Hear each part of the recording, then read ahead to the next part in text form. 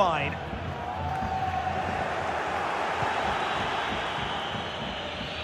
And they need to get tighter here.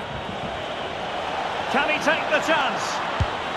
Oh, a moment of pure class! Unbridled joy for him and the supporters!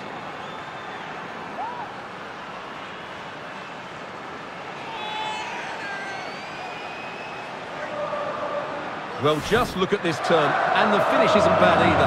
That's a great goal.